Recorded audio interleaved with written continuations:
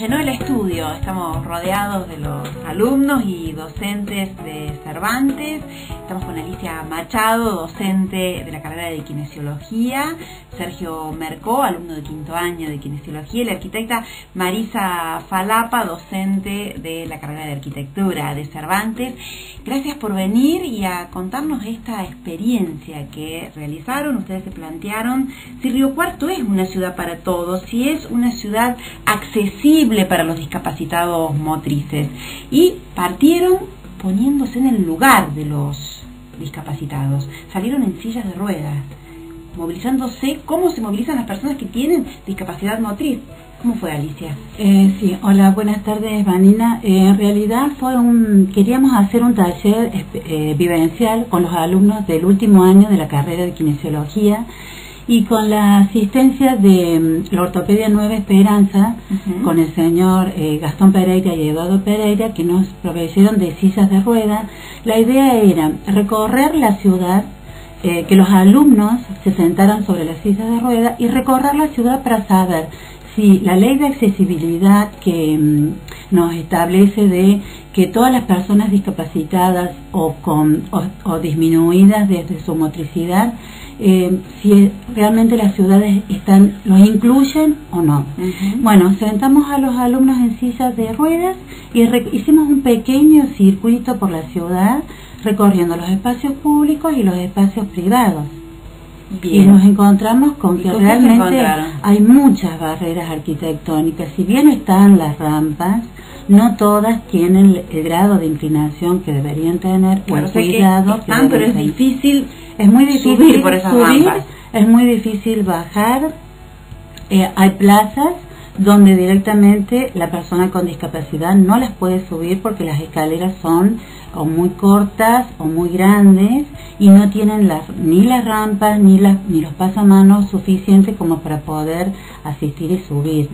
El recorrido lo hicimos en, en, un circuito pequeño, pero también asistimos a bancos y nos, nos fijamos si los medios de transporte cuentan con las rampas necesarias para que el discapacitado se pueda trasladar.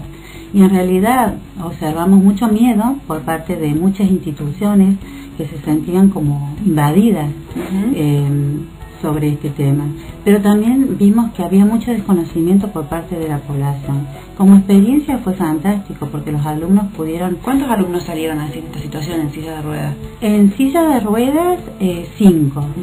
Y los demás íbamos, iban registrando eh, las actitudes de la gente, de, mm, de, los diferentes lugares donde íbamos recorriendo. Y Sergio, Sergio, ¿cómo estás? ¿Qué tal? ¿Cómo alumno y te trasladaste en una... Yo me trasladé, en silla de ruedas fue uno de los cinco que se trasladó en silla de ruedas y te, bueno, contarte un poco la vivencia que viví en ella, ¿no?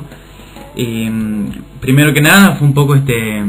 Eh, me sentía como eh, todas las miradas hacia mí, viste que creo que eso por ahí el discapacitado en la primera instancia siente, ¿no es cierto?, cuando va a salir a la calle, que se siente, se ve limitado en, como decía Alicia, estas barreras arquitectónicas y después las miradas, ¿no?, que eh, todo el tiempo eh, iban en torno a mi silla de rueda, a cómo me podía este, desplazar de un lugar a otro y en eso, ¿no? En las miradas y no, digamos, desde la parte de la sociedad no había ayuda, no había una prestación de decir, bueno, te ayudo, necesitas, no, no se venían, ni decían, este, mm, si necesitas este, que te colabore con algo, o sea, muy, era muy frío por eso, sentía muy lejos, digamos. A lo mejor por miedo la gente y por no saber cómo actuar. Yo no sé si por miedo lo interpretaste? lo interpreté como que, bueno, este, mm, por ahí sí puede ser por miedo, pero más que nada... Eh, como que no había una predisposición de parte de la gente, ¿no es cierto?, de decir, eh, te ayudo, sé que vos no estás en condiciones de poder subir una rampa donde verdaderamente la rampa no está cumpliendo con este, lo que debe... O sea, por un lado, la indiferencia de la gente, no prestar colaboración, y por otro, ¿qué, qué pasaba, por ejemplo, cuando querían acceder a una plaza, a un cajero automático? Claro, ves, bueno, es lo que te decía Lisa, de encontrarnos con estas barreras eh, arquitectónicas. Había momentos en que la rampa, si bien estaba, pero no cumplía, creo, las condiciones que esa rampa para un discapacitado, ¿no? O que era muy corta, era muy alta, este, ese que momento en que la silla no entraba en la longitud de lo que era la rampa, ¿no es cierto? tenías que saltar el escalón y por un lado la, otra rueda, por el otro la rampa, o sea, no, respetaba eso. o sea que donde estaba la rampa no reunía las medidas necesarias. Es así esto, arquitecta, ¿no? ¿Por, qué será que si, sí, eh, si te coloca una rampa se la coloque mal? Es como que no le cuesta entender. Lo que pasa es que, o sea, cuando abordamos la problemática de las barreras, eh, vemos que a nivel urbano y arquitectónico las ciudades en general han sido construidas sin tener en cuenta estas inconvenientes, estos eh, obstáculos. Entonces, en general, porque en general, por eso digo que no solamente lo podemos ver en nuestra ciudad, sino que en la mayoría de la ciudad estos obstáculos están siempre. Entonces, creo que hay dos puntos. Por un lado es todo lo que se construye nuevo, que sí sé que hay eh, reglamentos desde la municipalidad en donde cuando se diseña justamente un edificio nuevo se tienen en cuenta todos estos elementos. Pero lo más complicado es adaptar lo que ya existe, lo viejo, eh, desde que se fundaron las ciudades. Y bueno, entonces ocurren estos problemas que están, eh, han detectado ellos, es decir, que hay una rampa pero en realidad es angosta, eh, la inclinación o la pendiente no es la adecuada.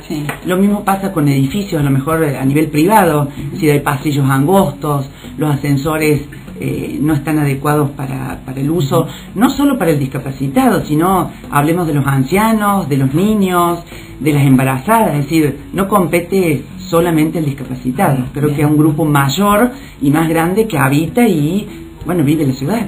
Y con las veredas, con el estado de las veredas también era complicado Es que yo, yo quería resaltar esto. Uno, o sea, lo que hizo fue sentarse en la silla de ruedas y bueno, tratar de semejarse a un, a un discapacitado pero honestamente, yo digo, lo, lo difícil o lo trabajoso que debe ser para él poder eh, maniobrarse ¿no en estas veredas, en estas circunstancias, cuando no puede asistirse. Había momentos en que nosotros, eh, si bien podemos asistirnos, nos levantamos porque honestamente no podíamos entrar en las veredas, no podíamos este, bajar la rampa y nos, nos teníamos que parar. Entonces, este punto, el discapacitado no puede, honestamente necesita ayuda. no, no, no, no puede. No es, no es una ciudad que incluya a los discapacitados. Exacto, pero es como dice este, el arquitecta Farapa, ¿no es cierto? No es que es Río Cuarto solamente, sino que creo que involucra a todo, ¿no es cierto? Desde yo en mi pueblo también, yo no soy de acá, pero este, también están estas barreras arquitectónicas, ¿no? Bien. Bueno, acá eh, Majo me acerca un mensaje, se ha comunicado con nosotros, es así, Franco Correa, dice que tiene discapacidad y elaborado proyectos para tratar el problema en la ciudad y se quiere contactar con ustedes. ¿Cómo, cómo, cómo hace para contactarse con ustedes? Que lo haga a través de la institución Cervantes, Bien. Eh, que trate de localizarnos dentro de la carrera de kinesiología y fisioterapia o dentro de la carrera de, de arquitectura. En realidad nosotros cuando salimos a la calle también nos encontramos con que había personas discapacitadas, como estábamos filmando este trabajo, que mm, se ve que pensaron de que éramos de algún programa de televisión o algo por el estilo y nos manifestaban todas sus quejas y unas protestas que realmente sentimos como muchísima impotencia hacia ellos.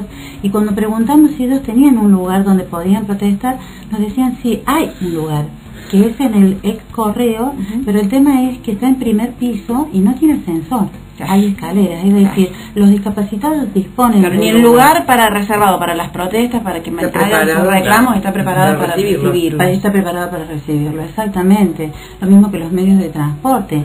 Eh, ninguno cuenta con la rampa necesaria para que el discapacitado se pueda trasladar, pero no solamente en la ciudad, sino lo de media distancia, lo de larga distancia, y yo después pensando, digo, ni siquiera en un avión o en, o en otro lugar el discapacitado tiene acceso también a tener sus vacaciones, ¿no? Ustedes testimoniaron todo esto a través de fotografías, algunas ya las vamos a estar colocando en el Facebook de Vanina y tu salud para que todos las puedan ver.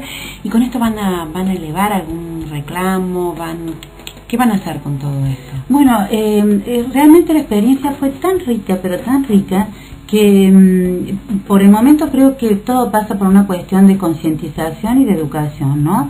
hacia los colegas, que, hacia los futuros colegas que son los alumnos, una mirada diferente sobre la discapacidad. Pero en realidad nosotros pensamos que esto se puede hacer eh, como campañas de prevención o de promoción de la salud a nivel de diferentes instituciones como las escuelas primarias, los establecimientos secundarios, eh, dispensarios, a través de la atención primaria de la salud. Creo que el kinesiólogo, la función no está solamente dentro del consultorio, sino también desde afuera. Y bueno, y si podemos llegar hasta eh, el Congreso o la municipalidad o diferentes instituciones donde realmente uno pueda mostrar esto no con, no con agravios, sino con eh, concientización por sobre todas las cosas. ¿no? Bien, bueno, y la gente que se va sumando al, Exacto, al sí. escucharlo, Ujú. bueno, en este caso Franco Correa, que también ha dejado un número de celular, se los doy si ustedes quieren comunicarse con, con él. Bueno, les agradezco muchísimo todo este testimonio que nos han traído, que hace a la concientización y a que nos informemos y nos encaminemos hacia una ciudad realmente para todos. Alicia Machado, docente de kinesiología, la arquitecta Maricia, Marisa Falapa, también docente de Cervantes, y Sergio Mercó, alumno de quinto año. Les agradezco muchísimo su presencia y el testimonio.